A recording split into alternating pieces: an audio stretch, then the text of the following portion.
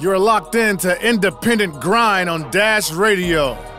Tune in Monday, Wednesday, and Friday, 12 p.m. Eastern, for the latest hip hop news, music, and interviews. Independent Grind only on Dash Radio, baby. Tech N9ne. All right, we are here with Junior of the one and only Common Kings. How you how you doing today? man? Yo, yo, do good, doing good, man. Now uh, you guys me. you guys are on tour right now. Where you where you currently at? Yeah, we're on our way. We just left uh, Seattle, um, on our way to Utah, uh, Salt Lake City for a show tonight. Um, Broken Crowns tour still in session with uh, the big bro Matisyahu. Um, yeah, How's that been so far? it's been a a crazy experience, man. Like we we've we've done a lot of shows that were in markets that we're yeah, we're not used to doing. So we've been coming across new like genuine new fans. You know, um, You were touring with uh with with Mayday earlier in the year. Um, that was like yeah. your sort of your own tour. Do you notice a difference between when you're touring as the headliner versus like you know someone with Matisyahu? Uh, yeah, the the demographic is definitely different, but like Mhm. the the, the um, fans that come out. But um, all in all, like they're they're receptive, you know, for, for us, and um, yeah, it's been um it's been great with with uh, modest, but um, doing the headlining shows are are a lot crazy for us. You know, we're we have a solid fan base. Um, they they always come out to party, so it's a it's a lot less chaotic or a lot more mellow during this tour for uh, you know being an opening band or the modest tour as opposed to doing a headlining run. That run with with Mayday in uh, earlier this year in March was crazy. We we've never gotten to work with them, you know, and and we we've heard of them and uh, being on tour with them, it, it was like perfect. It was a perfect blend of, of music. You know, they're they're high energy, Mayday, um, super artistic people, like creative. You know what I mean? So like, and you can tell it comes across in their music. So yeah, it's it's super cool to see you uh, working with Mayday so much this year. Um, I feel like one tour resulting in like you know three different tracks is, is pretty crazy. Um, yeah, exactly. Obviously, ahead. Pretender and, and System were sort of like Mayday led, but this new one, Today's a New Day, is sort of your guys spearheading that. What made Mayday the right fit? Did you make it with them in mind? Can you sort of tell us a little how this one came about? Oh, sorry. No, I'm saying that uh, they they brought that song to life. Um, uh, with with uh, you know with their with their with their lines and their their verses, it was it was really dope. Did you all make this one with them in mind, or like did they did they come about with the feel of it? How'd you how'd you decide to loop Mayday in on this one? Yeah. You know what? We've um, after our tour together, we've always. I mean, we jumped on a couple of their records, and we definitely um, were looking for a song that uh, you know that we thought could we could do together that made you know that made sense, and uh, uh, you know that one just that one just when when we created that one, that one just make, made so much sense to have them jump on. Uh, we started that one out out in California and we've been going back and forth. And we had just actually finished, um, I think, cutting. Uh, Jared just finished cutting vocals on two of the two of the songs that we did with them, um, uh, System and uh, Pretender, Mhm. and uh, and so we were like, dude, we need, you know, we haven't done collabs. Like all of our songs that we've released um, till now, there's only been one collab, um, and so um, after this, our first album um, we wanted to reach out and have a little bit more, you know, do, do a couple more collabs. And so um, they were definitely top on our list because, you know, hanging out with them, going on tour, they're good people and they're just talented as hell. Yeah, I feel like your guys' fan base could probably speak to each other and like each other's music. Um, how did you guys come Oh, about yeah, Mayday, definitely. or you know, like when was your first introduction to them?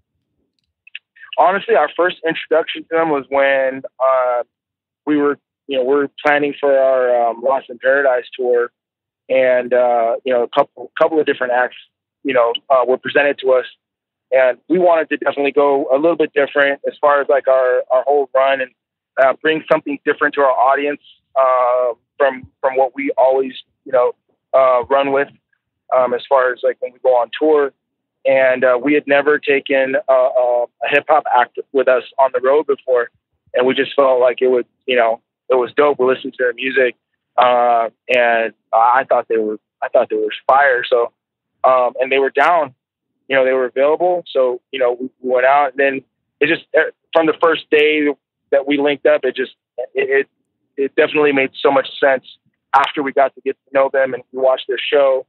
Uh, you know, because they put on one killer show, and then they're just, you know, at the end of the day, they're just good people. And so, really, when it comes down to it, uh, you know, good people win. Yeah. No, they definitely are good dudes. I've Um, seen your actually c- catching that show, the Lost in Paradise tour. Um, something I loved about your guys' set is the way you said you're you know don't really go into hip hop too much, but you guys do bring in that hip hop feel, um, sort of you know doing your own spin Yes. on hip hop songs. So I guess how'd you guys decide to want to do that, and like how'd you uh, incorporate that into your sets? oh man, we blame it all on Dre. Come on, we're, we're California, and then you know, like California love. All of us, you know, we grew up listening to to NWA and and uh, Dr. Dre. We all have you know the freaking Chronic album, and and so, um, but you know, none of us none of us rap, and so Mhm. it's kind of like our alter ego, right? Um, if we could, uh, we would, but we don't. So um, we make uh, you know love songs. yeah. and uh, more of the softer stuff. Can you tell me like can you tell us like what the state of reggae is in right now? I think the state of reggae is evolving. I mean, we just got nominated uh, for the for this year's Grammys. Yep, And I mean, congratulations. that is just that. that is just crazy. Yeah. So that to us is nuts. You know, I mean, we're we're you know obviously we're super excited, super humbled by it. But that just tells you the state of reggae is evolving because we're not, um, you know, in in the reggae world, people they claim us, but you know, there's some festivals where we're not invited because they don't think we're reggae enough. Yeah. Um, and uh, you know, but in the in the pop world, we're the greatest reggae band that's performed. You know, we go on we're going on tour with like you know like Fifth Harmony and and uh, Meghan Trainor, and they think we're the greatest reggae band ever. You know, so uh, it, it it's crazy. We're getting the recognition that we're you know uh, getting, and I, I believe that it's evolving into to a point. At the point, maybe not this, maybe not next year or, or the year after, but soon they're going to have different. They're going to have to have different categories for reggae, just like they have different categories in pop and hip hop. Mhm. Um, you know, and and and R and B for for the Grammys because there's there's definitely a lot of you know cross nation for uh, for how reggae is evolving. You know, Mhm. uh, and and I think right now it's it's in a really good place. You know, ever since uh, ever since Sublime came out, uh, he's kind of you know they've kind of opened the door to more of that Cali reggae sound, and then now you know uh, us Polynesians are putting our spin on it. Uh, and so it's it's it's it's going to continue to evolve, and I think that's exciting. And you mentioned Sublime, and they're obviously one of my favorites. And I think that's perfect to sort of say, like, Oh I, know, I feel like I feel like great music is just great music. Like at the end of the day, you know, like talk about Mayday, they bring in different elements. You guys are giving them the reggae feel. Sublime has that reggae feel, but also has so much hip I hop mean, feel. so like- much reggae.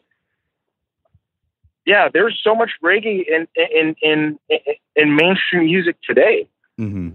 I mean, you know, they're touching on it, you know, and I mean, people are like, ah, that's not reggae, that's like watered down. But I mean, the elements are there. It's the, the, the influences are there. It's, it's starting to get woven into mainstream songs, you know, dance from dance hall to freaking Ariana Grande's, what's her something all day song, you know? Um, but it's, it's, it's, it's in there, you know, it's in there and it's, it's getting, um, there's, there's definitely heavy influence Mhm. and it's it, you know it's a great place for reggae. So sort of taking it back to uh, today's a new day. I guess didn't you guys spend? Didn't I see you guys were in Miami with? You met up with Mayday in Miami. Yeah, so our our schedule worked out, you know, uh, so that we actually had two days off in Hey. between shows, you know, and we're like we're looking at our schedule, and then it just so happened that Mayday also was just coming off of their tour, and they had the same two days off. I mean, you want to talk about like perfect timing? You know, those guys are touring eh, those guys tour way more than we do, you know, and so for our schedule to, to align and have the same two days off was uh, it was pretty amazing. So it, yeah, it's definitely meant to be for us to link up and and uh, shoot that video. Oh, you shot a video for it. Yeah, because we'd already the, we'd already cut the song. We shot the video for it, um, and uh, I know it looks like we're all in there just making it, but we we'd actually been going back and forth. That's because our schedule didn't line up for us to actually be in the studio together. So we wrote the song out here while we were, you know, and, you know, they they did their lines while they were on tours, and then sent it back to us. And that's kind of what the same thing we did with uh, System and Pretender. We were also on tour uh, and cutting vocals in hotel hotel rooms, mm-hmm. um, you know, with our little, you know, Pro Tools rig, whatever. And then uh, and then we would send the you know send the uh, the vocals to them, and then you know they had it mixed and everything. So um, that's kind of how we were working. You know, thank God for technology today. um, we, we don't always have to be in the same room to mm-hmm. create fire. It's good you guys got in the same room for the video. That should be that should be a lot so, of fun. Yeah, that's the part. Yeah, so we definitely were like, dude, we can't. We have to have. You know, we wanted to shoot a video. We're trying to think of our schedule. That's that's why it was just such a you know godsend that, that we had the mm-hmm. same two days off. So we were like, yeah, this is meant to be. So we flew out um, uh, our videographer from Salt Lake City. Um, he came and spent three days with us, four days with us. Just to wrap it up real quick, you guys are going on tour in the UK shortly after this Black uh, Broken Crowns tour with the original Wailers. How did that come about? And have you guys been, a, a, you know, like overseas a lot? Like, just break that all down. Um, so our first our first trip into Europe was um, last summer. We went out. Well, we opened up for Sean Paul in Germany, uh, and that came about, you know, because um, just through mutual friends. You know, one of the bigger one of the big promoters out there in Germany uh, was out here visiting some friends, and then his friends connected with our friends. You know, so the conversation started and met us, and he's like, "Ah, I know you guys don't have don't know anybody or have no music out there or traction, but I like you guys. I want to bring you out to Germany. So that's how that came about. Um, and then um, with the with this one with the Wailers, uh, same it was same thing. It just so happens that our booking agent's also the same booking agent for the Wailers, the original Wailers. And uh, we had been, you know, been telling them and saying like, hey, you know, we would we're really interested in going to uh, to UK you know, if it makes sense, you know, try and fit us in wherever we can. And the Wailers don't really, you know, they don't really, they don't really tour, I guess, with op- opening acts, or they just kind of pick whoever's local. Um, and uh, so they they presented us to them, and they're like, yeah, of course. You know, so then that's how that came about. You know, so it's definitely uh, one degree of separation for how we're able to get, uh, you know, some of the tours that we're on. You know, pays to pays to be good to the people that are good to other people. mm-hmm. yeah, definitely. Well, that's awesome, man. Thanks, yeah. thanks so much for your time, and um, we're looking forward to for two days in Noga. And like, is there is there any more info you can give us about the album? Sort of when to expect it, when um, when we might get some more off of uh, either you or Mayday or just you guys. Um, we have you know we have our new single that's dropping. We have we have like uh, several new songs that we're looking to drop as well. Um, and you know, in all honesty, to be honest, this whole um, Grammy nomination has kind of caught us off guard. So it, it might change a few things. Yeah. So, because um, you know, because now you know people are going to the first thing you're going to do now is look at our newest body of work, and so we don't want to. We definitely don't want to cloud everything. So I don't know. We'll we'll see. But we have like um and and a new album that's probably like a couple songs short of, of being completed. Um, that's that was slated to drop about August of next year. This is the genius, Chris Calico. Cali, baby. Letting you know you're tuned into Tech N9ne's independent grind on Dash Radio. Ah!